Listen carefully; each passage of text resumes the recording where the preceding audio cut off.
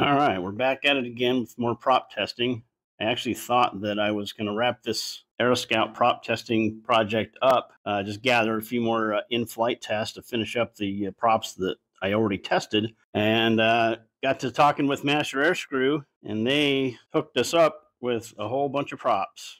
I've got seven more props that they uh, suggested that I test on the uh, Aeroscout.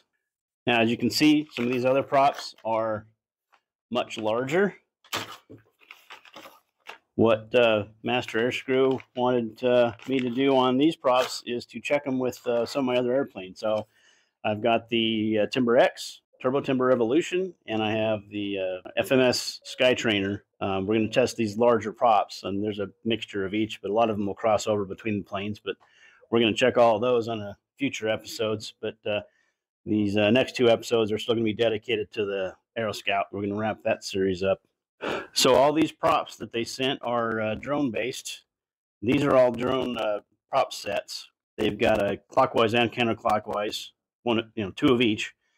Obviously, we're going to use just the one style, so one of them we won't be able to use. But let me kind of break down what I've got here. We're going to do our standard uh, uh, static tests on these seven props. And I think we'll probably have one more episode of this series with the Aero Scout specifically, uh, wrapping up all the air testing. So we're going to be checking the rate of climb, the top speed for all these props, and uh, to go in addition to the static test because the static test doesn't tell us everything, but it's it's good valuable information.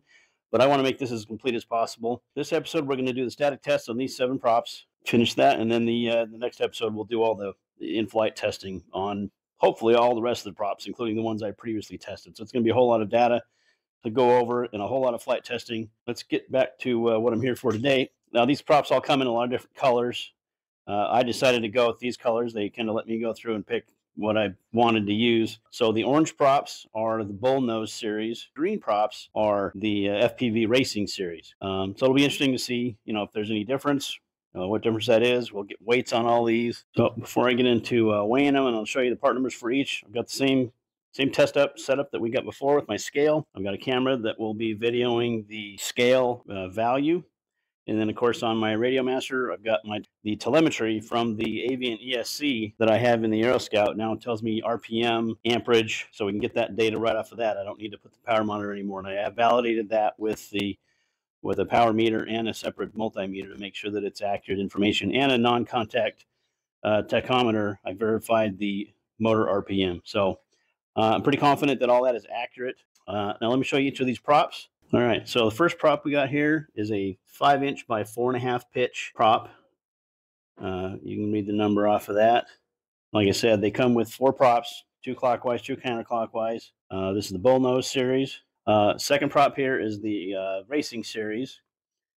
Uh, it's also a five by four and a half, so same pitch and diameter, just different uh, geometry. Uh, third prop is uh, then bumping up to a six inch by four and a half, so just slightly longer, same pitch, same geometry. Fourth prop, then we're going to get into the three bladed props. first one is a Bullnose series. That's a five inch by four and a half, but in a three blade. Fourth prop, another Bullnose series. This is a six inch by four and a half pitch in the Bullnose. And then uh, the last two props are the racing series in three blade.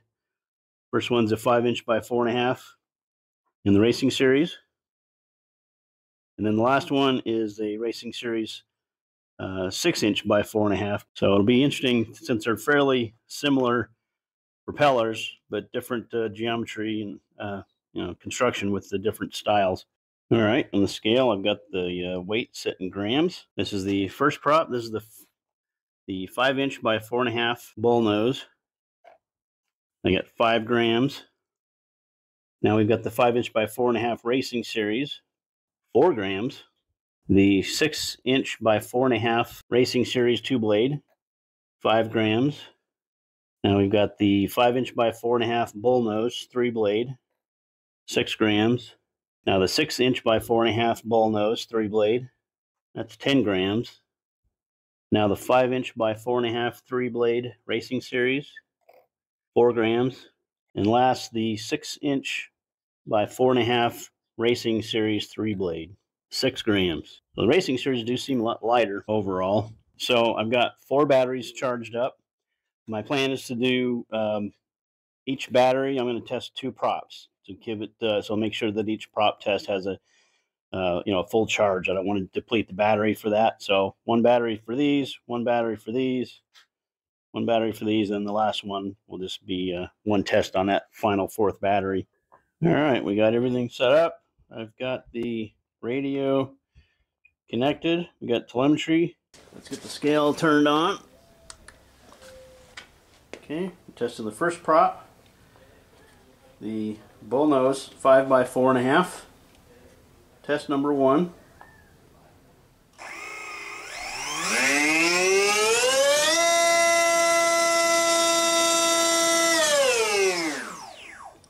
Okay, we'll do a screenshot of that.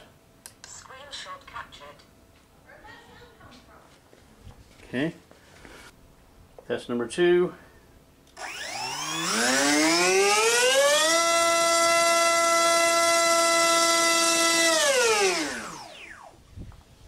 Okay. Screenshot that. Screenshot captured. All right. So that one uh, seems to be pretty similar to stock.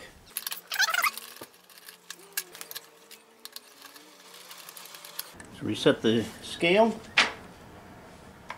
Arm the prop.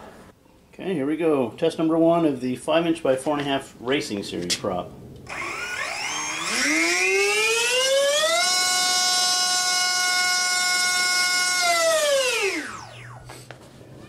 Well, significantly less thrust on that one. Much less amps. Screenshot captured.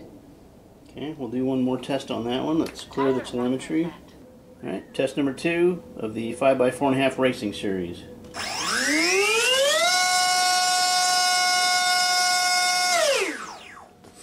Man, not very impressive static thrust, that's for sure. Get a screenshot of that.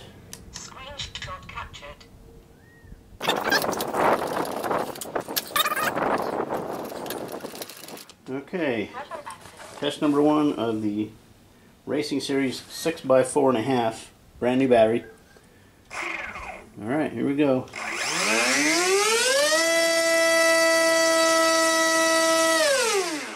More thrust. 20 amps, not bad. Screenshot captured. Test number two. Six Racing Series 6x4.5.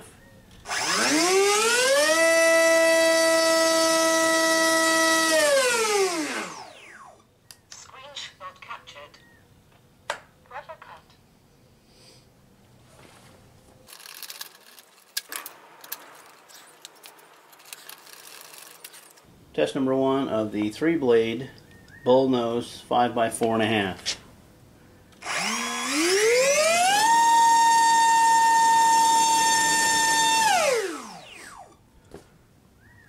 Not bad. Not high amps. We'll see. Here we go. Test number two, five inch by four and a half, three blade bull nose.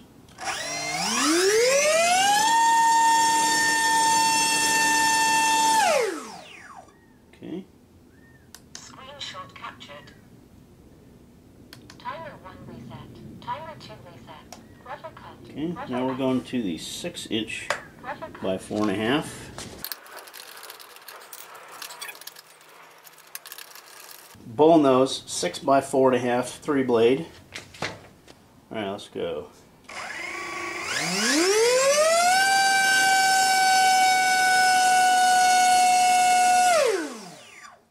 Okay, Screenshot captured. test number two. Bull nose, six inch by four and a half.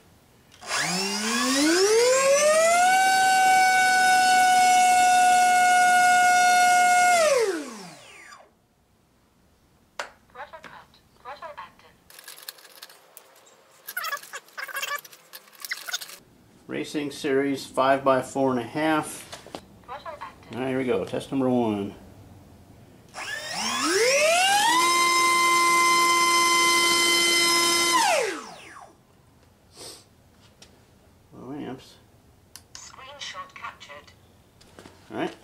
2, 5 inch by 4.5 racing series. Scales reset, telemetry reset. Here we go.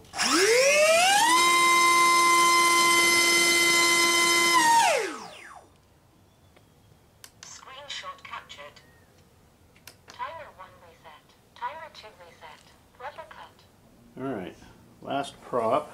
This is the Racing Series 6 inch by 4.5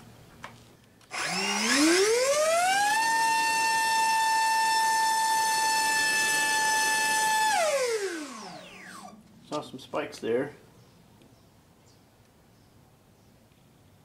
Screenshot captured. Timer 1 reset. Timer 2 reset. Rubber cut. Rubber cut. Alright, test number 2.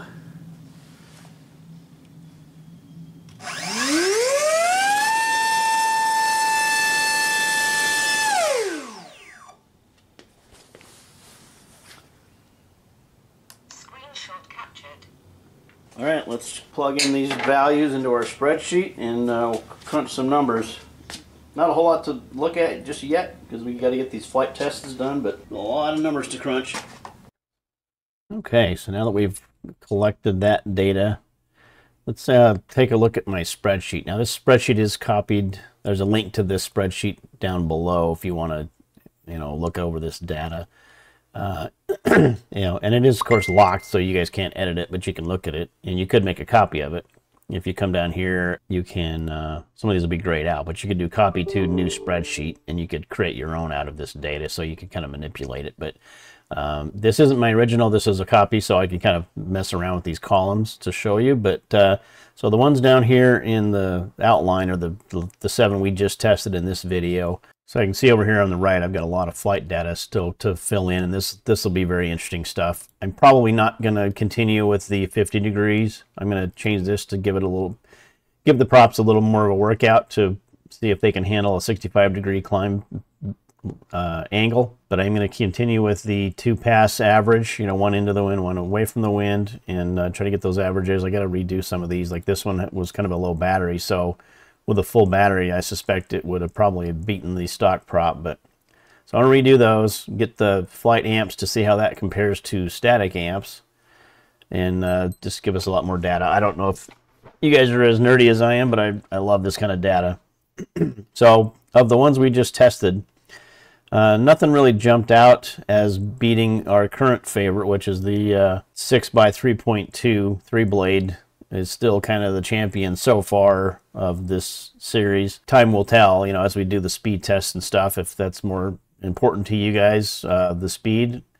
Personally, I, I'm more about the climb rate, uh, takeoff roll. So the static thrust, I think, is more important, but uh, it'll be interesting to find out how that translates to climb rate and speed. So you can kind of see here uh, of the ones we just tested, they're all over the board, kind of like the ones we've tested before. Uh, that one there, I highlighted it because it was exceeding the the 30 amp limit of our uh, ESC. Some of these, that, that, that little uh, lightweight racing series, really low amps, but not a whole lot of thrust, uh, low, lower than stock even. The efficiency number is this grams per amp. If you have this moved out, it doesn't work unless you have it on your own spreadsheet. I've got it, I've got this kind of locked here so I can scroll, but if I click in one of these fields, I can sort by that. So let's let's sort them by uh, I'll call it efficiency, the grams per amp. If I click that and then go up here to data, sort sheet uh, Z to A. So this top one here would be the most efficient. That's that yellow and black Azure Power. Certainly not the highest thrust, but the best thrust per amps. So very efficient. Uh, didn't get a you know a lot of speed, but I mean, we're talking five miles an hour when you're flying around. That's plenty fast enough. But anyway, this will just give you the so you can sort them by efficiency to see you know the the current favorite being this six by three point two. So we're you know the sixth one down as efficiency, but it had by far the highest static thrust, which translates to shorter takeoff roll and uh, better climb rate. Uh, some of them are getting up there close. Let's see, but some of these really inefficient. You know, like we're getting way down here, that one I just tested. It's a super heavy prop. This thing weighed 10 grams. Uh, but I'll let you analyze these. I don't want to take too much time on this. It'll be much more interesting when I get these flight data populated. But uh, if you want to play around with this spreadsheet, I think it's kind of cool. Uh, let me uh, undo that. So if I want to sort it by grams of thrust in the static test, you know, you just click in that field, go to data, sort sheet. So if you do A to Z, it'll do lowest to highest. If you do Z to A, it'll do highest to lowest. So, you know, there's our current champion, highest thrust, uh, the red Azure Power. I haven't really spent a lot of time on that one, but I'm interested to see. That one had a higher amps, but almost the same thrust. So I'm interested to see what kind of speed that one will get. Same with the Scimitar. That's currently probably my second favorite, maybe my first favorite. It sounded cooler. So of all this, all this testing I'm doing, the only two things that are really opinion based are the sound and the look. Everything else, as you can see, I'm trying to collect as much actual measured data as possible. So, you know, you're not going to hear me saying, oh, that one climbs better unless I've got actual data to back it up. I've had a few people uh, talking about different props and saying, oh, this one works better for me or that one works better for me, but they don't have any actual measured data to back it up. So that doesn't really mean anything to me. I'm going to go by scientific data as much as possible. So these measured uh, values are much more important to me than uh, seat of the pants performance. Still got a lot to find out with the uh, with the flight testing. So uh, keeping keep an eye out for the next video where we're gonna I'm gonna do a flight test for all these props. Uh, not sure how I'm gonna do it. This will be a long, possibly boring video if I show every single one of these props in their flight testing because I'm basically gonna take off, climb to 200 feet at 65 degrees, get a time to climb for that, you know, or feet per minute, and then I'm gonna do two speed passes and get the average. So I'll probably just do a show a few of those and then kind of go over the the numbers once we see them. Maybe I'll show a few highlights of that, uh, of the some of those props that are maybe more interesting. Tell me what you think. Um, I'll have links to some of these below. Uh, Master Airscrew, thanks again to them for uh, sponsoring this video and uh, providing us with a bunch of new props to check. We've got uh, affiliate links below for Master Airscrew, so if you're interested in any of these, please use our links. So thanks for watching. Keep an, keep an eye out for the new videos, and uh, we got a lot more to come with those other airplanes as well. Like I mentioned in the video, we've got uh, I've got all these props for the Timber X, the Turbo Timber Evolution, and the Skytrainer. A lot of these will cross back and forth between all three of these planes because they're all very similar, but the motors are different. So you can see I've got the motor listed here.